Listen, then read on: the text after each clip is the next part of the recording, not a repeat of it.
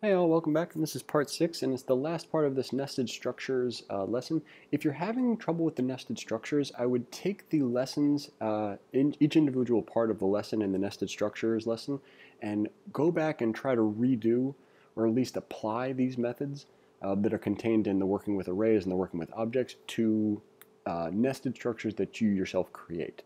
Or you could even take the ones that we've created for you, and rather than having them uh, you know, use unshift or we're about to use the delete operator um, or get all the keys, take any of the uh, any of the methods or operators from the arrays and objects section and see if you can mess around with any of those. The same principles are going to apply. The only thing that would be interchangeable would be, of course, the actual method or operator you're applying.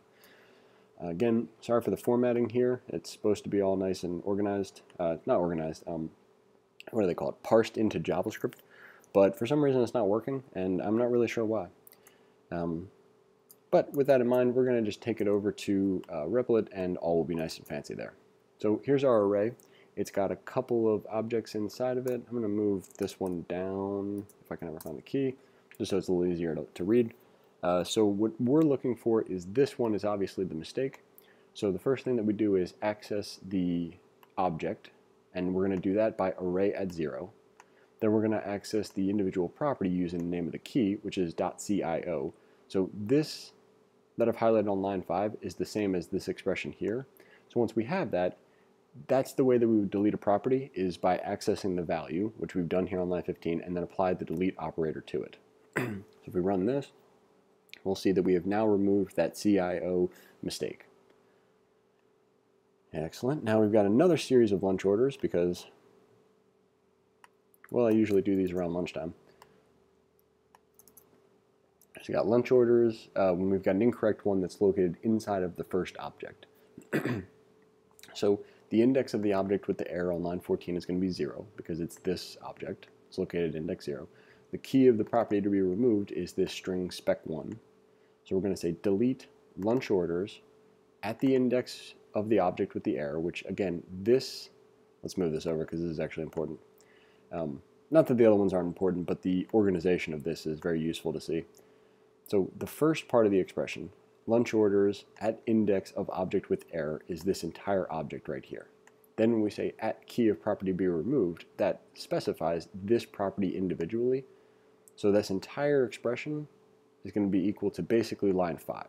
Then when we say delete, it's going to, uh, well, delete that property. So if we run this, afterwards we'll see that um, curious why that looks so weird. Uh, let's see if we can make it uh, there's really no easy way to see that nice and cleanly. Um, actually we probably could throw a, a, new line symbol here. Let's see what that does.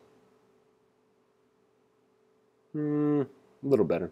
But here's the first object and as you can see it's removed that spec 1 processor speed and then the second object was unaffected so, looking good. Now we are going to complete a function. It takes in two parameters, an array, an index, and a key, and that's definitely three parameters, but you get the idea. Um, and I'll change that before you see it. And a key removes the property specified by the input key located within an object located at the given index within the input array. So that's a complicated way of saying we have a property inside of an object inside of an array. Um, located within the object. Uh, input array and returns the input array. Your function should use the delete operator to remove the property specified by the input key located within an object located at the given index within the input array and returns the input array. Below are examples of the code running. Assuming you will have completed the described function, remove a property again. So we've got our array of objects. copy our stub. Got our test case. So remove a property at the given key from the object at the given index. So to remove a property, we use the delete keyword. I'm just going to say, no, we're not just going to say anything. We'll, we'll say the whole thing. We have an array of objects. So to get the object in question, we need to say array of objects at index. The array of objects at the index gives us an object that at this point we know has an incorrect key located at our input key here or sorry, it has an it has an incorrect property located at the input key. So if we have an input key the way to access the value there, or the way to access the property in case you're deleting it, is to say the name of the object, which is the array of objects at index. So if we have an array of objects and we locate an index inside of that array, that value or that expression is going to be the object itself, which we're then going to access at the input key. We then apply the delete operator to the entire expression and it'll get rid of the appropriate property. We're then going to return the array of objects. To run this, let's see what happens. Array of objects is not defined.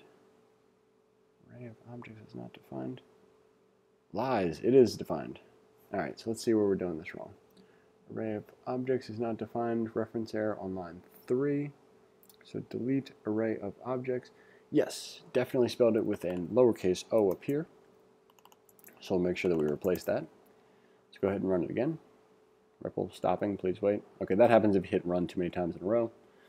So don't. Um, okay, should log, and it does. Should log key value, first one, second one, third one. Key value, first one, second one, third one. Perfect. So that looks to be adequately correct. Let's go ahead and take it back to the input window. Paste it in.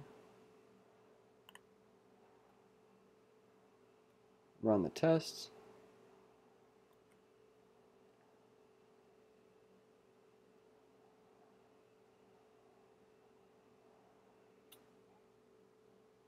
Hmm. I'm actually going to leave this just because uh, this is an error in the tests that doesn't really apply. Uh, we did use the delete operator and it's working correctly. So this is an error in my test. I will fix this before you see it. So when you run this code, it will say everything is correct. Uh, the line we were going to use is our dishes are done, but they're not really because I still have a couple of dishes to go put away, but you don't because you've successfully done this. Uh, so again, keep in mind, this is an introduction.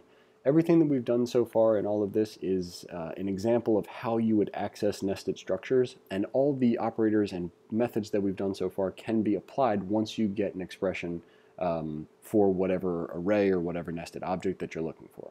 So again, hope you enjoyed it. Thanks for watching, and we'll see you in the next one.